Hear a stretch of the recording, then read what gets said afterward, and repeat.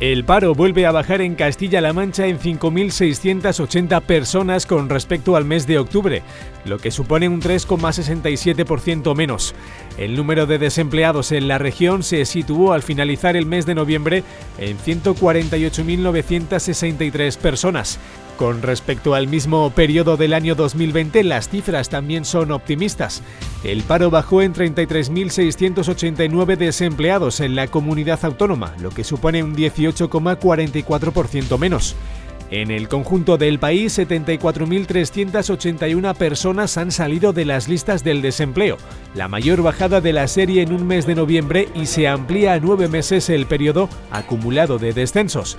El total de parados marca mínimos en un mes de noviembre desde el año 2008.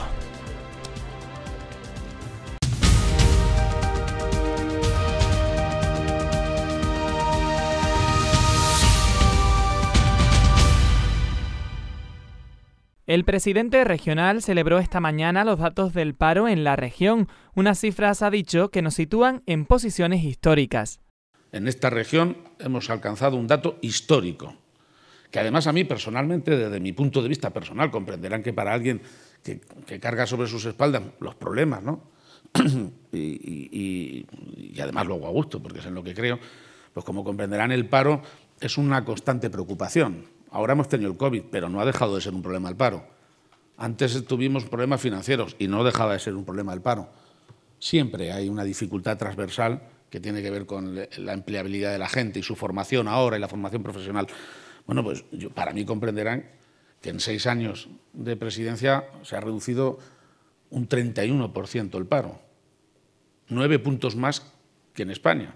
García Paje ha explicado que los datos indican que Castilla-La Mancha encabeza el ranking de mejoras de empleo de nuestro país. Es un ejercicio saludable, incluso si quieren, de patriotismo, celebrar unos datos tan espectaculares del paro como esto. A todo se le puede poner pegas, de cantidad o de calidad. Pero la realidad es que estos datos, hoy Castilla-La Mancha, junto con Castilla y León, Extremadura, encabezamos, encabezamos el ranking de, mejora del empleo en España. Hoy en esta región eh, hemos batido un récord histórico.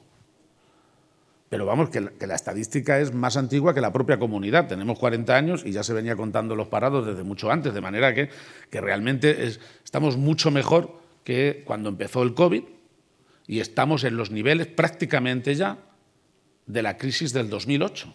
Como hemos dicho al abrir este programa, el paro en la comunidad autónoma se situó en noviembre en 148.963 personas, tras una disminución de 5.680 desempleados.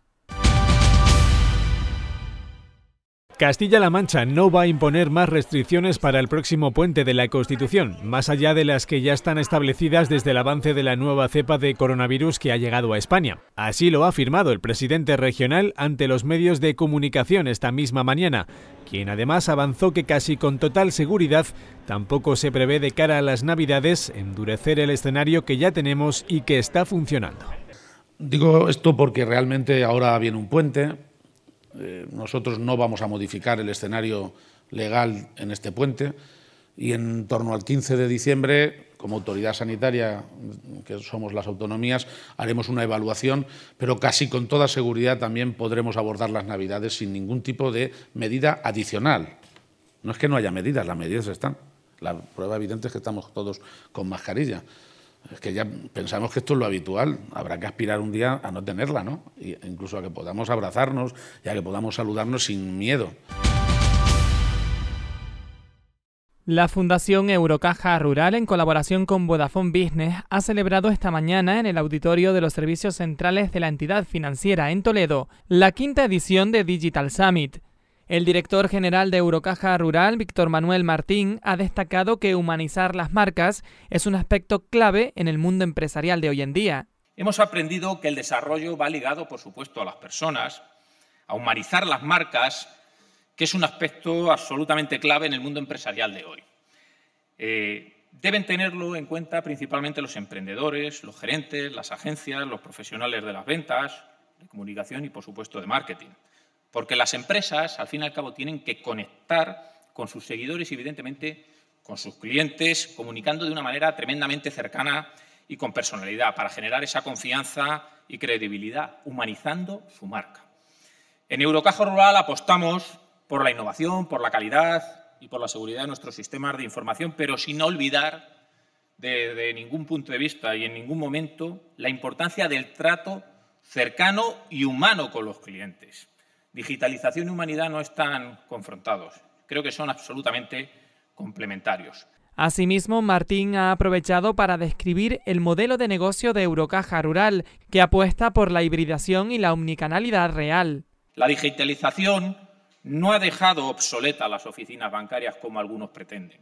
La digitalización ofrece al cliente y también a las entidades nuevas posibilidades de relacionarse con la propia entidad de forma, insisto, complementaria enriqueciendo esa relación. Por su parte, el director territorial de Vodafone Business en Castilla-La Mancha, Jesús Lombardero, ha señalado con contundencia que ser más digital es ser más productivo. Una empresa al final más digitalizada eh, lo que consigue es ser mucho más eficientes en costes, llegar a muchos más clientes, llegar a muchos más clientes que no están dentro de su área de actuación física, eh, permite comunicarse mejor. En definitiva, al final, ser más digital es ser más productivo. Digital Summit 21 ha estado presentado y conducido por Alicia Senovilla y ha contado con actuaciones musicales de Lucía Santiago.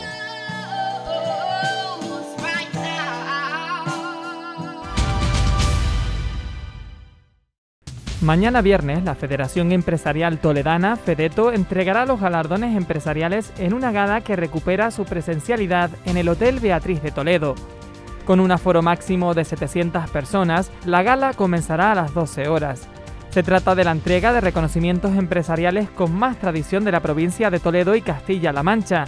Desde el año 1996, FEDETO organiza estos premios con los que se quiere visibilizar la contribución de las pymes y autónomos en la generación de empleo y riqueza en los municipios de nuestra provincia. El Castillo de San Servando ha acogido en la mañana de este jueves la presentación de E-Inclusiva, una app puesta en marcha por la Confederación Española de Personas con Discapacidad Física y Orgánica de Castilla-La Mancha con el objetivo de mejorar su servicio de intermediación laboral a través de las nuevas tecnologías, una iniciativa que cuenta con el apoyo del Ayuntamiento de Toledo. El usuario dispondrá de acceso al equipo de orientación laboral, así como a ofertas de trabajo e información diversa. Podrá concertar citas, solicitar ayuda y resolver dudas.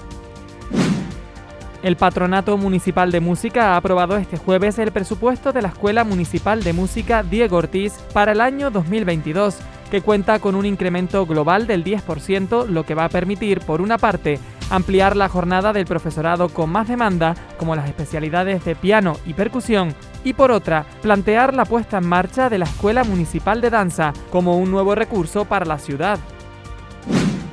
Cerca de 40 profesionales asisten esta mañana a la jornada sobre buenas prácticas y violencia de género en el medio rural, organizada en Illescas por la Unidad contra la Violencia sobre la Mujer de la Subdelegación del Gobierno en Toledo. Se trata de la primera edición de una jornada que también se realizará en Camarena el próximo día 13. Hoy se han inaugurado las jornadas La contribución de las comunidades autónomas en favor del futuro ecológico de Europa, que se celebran en la ciudad de Toledo.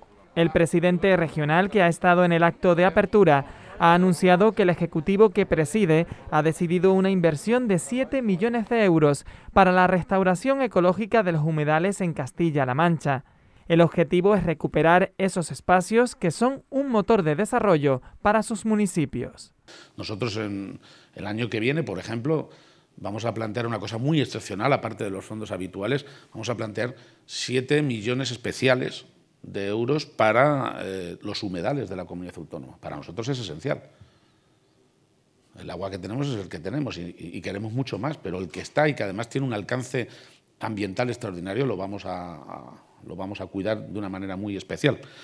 En Castilla-La Mancha hay más de 400 humedales de distinta tipología y con esta partida se pueden llevar a cabo actuaciones de conservación y restauración que van a mejorar la cantidad y la calidad de su agua, además de su biodiversidad.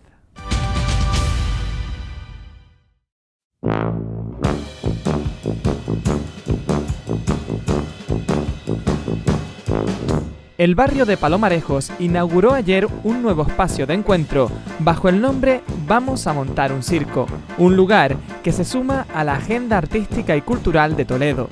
Antes de que la carpa abriera sus puertas por primera vez, nuestras cámaras se colaron en el local para conocer un poco más sobre esta innovadora iniciativa. Pues vamos a montar un circo, es un grupo de gente que ha decidido crear un espacio, un grupo de gente en los que me incluyo yo. Somos cuatro socios hemos decidido pues eso, montar un espacio para dar visibilidad y cabida a todo el espacio artístico que hay en Toledo, tanto de jóvenes como de no tan jóvenes, de gente muy mayor, de niños. Queremos que se cree un espacio en el que todo el mundo nos diga sus necesidades artísticas y culturales y nosotros pues intentemos solventarlas. Un estudio de radio, una sala polivalente donde impartir charlas o desarrollar talleres, diversos espacios para exposiciones, zonas de coworking.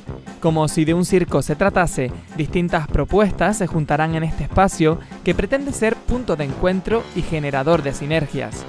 Que nos digan las necesidades que tienen, que nos digan de qué quieren hacer un curso, de qué quieren hacer un taller, que nos propongan cosas, un cineclub, lo que quieran, que todo lo que estamos abiertos a todo y que es para todos los públicos, que mucha gente nos decía, bueno, es que claro, los, sois los jóvenes y es como, no, no, aquí va a haber de todas las edades, entonces que se animen, vengan a conocernos y, y, que nos traigan ideas nuevas también. Dar vida al barrio de Palomarejos era otra de las metas presentes en el proyecto estábamos viendo también un poco la necesidad de la gente que vivía aquí.